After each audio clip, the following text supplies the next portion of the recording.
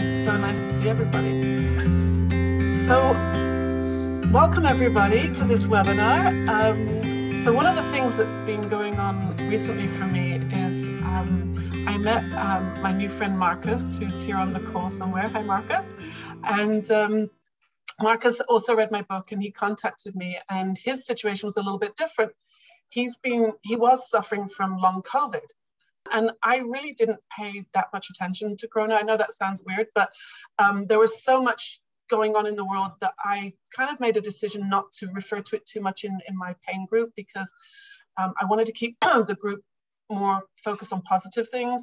And there's, you know, uh, I find a lot of these support groups in Facebook are very much about comparing symptoms and and seeing what's wrong and all the negative stuff, and you know just you know, can really bring you down if you start reading and believing that stuff. So we kind of like just kept going, looking at the solution and looking, um, at, you know, hopeful stuff. And then so when I re- um, heard from Marcus and he said he'd been suffering from from long COVID, and I listened to the symptoms he described, um, it sounded very familiar. it sounded like a lot of the um, stress-related stuff that a lot of people, you know, with chronic pain um, experience.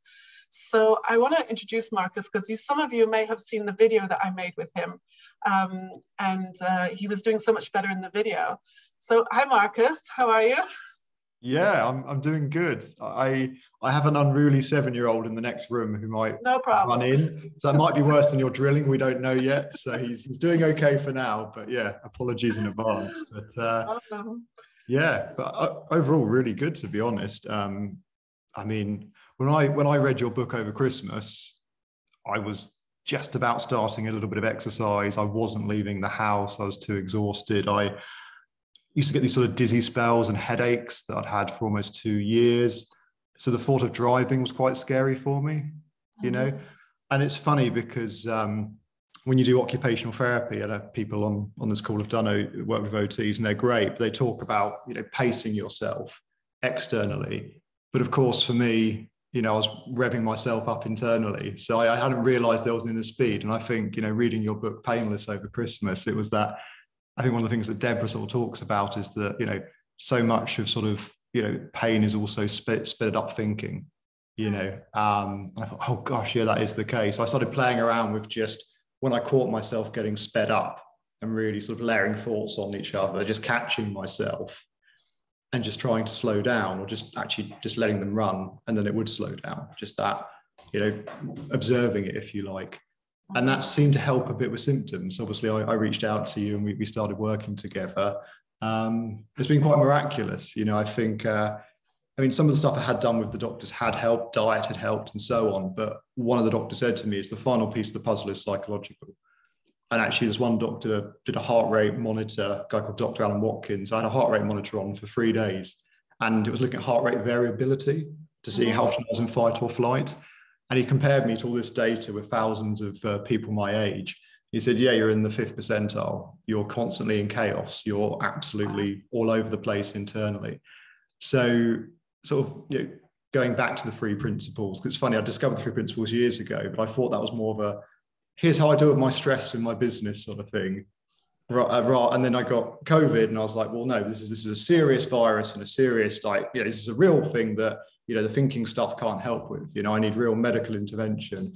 And it's so ironic that you know something i discovered you know five six years ago that really helped me with with stress back then you know i'd completely forgotten because covid was a real problem.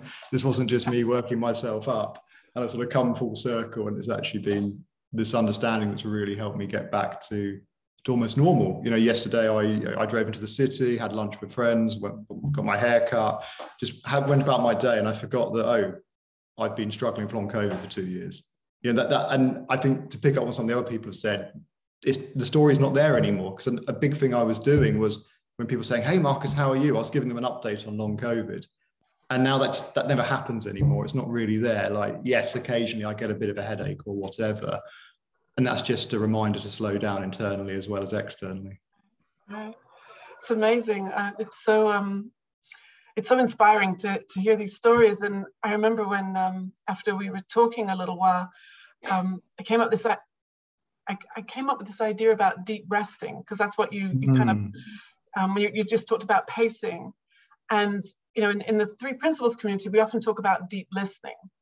You know, and I've been coaching people for, you know, 30 something years now, and I thought I was a good listener.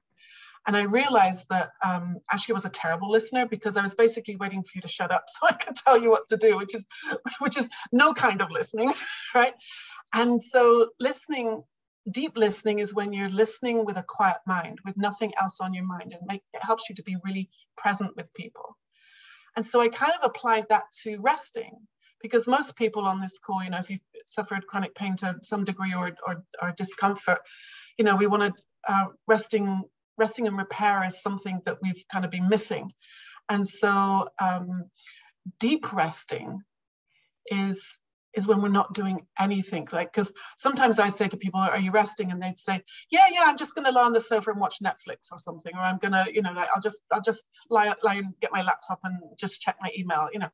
That's not resting right? That's that you know we're still engaging the mind. And like marcus just said you know if, if we've got an outer speed and an inner speed you know we may have slowed down physically because maybe we're frightened to move our bodies or frightened to lift or frightened to do something or frightened to eat certain foods or go to certain places.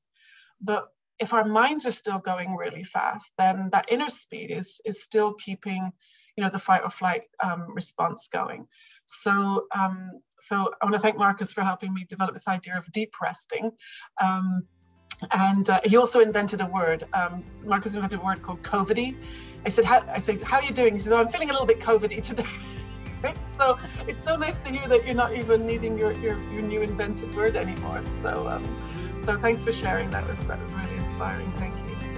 Um, I I'd like to.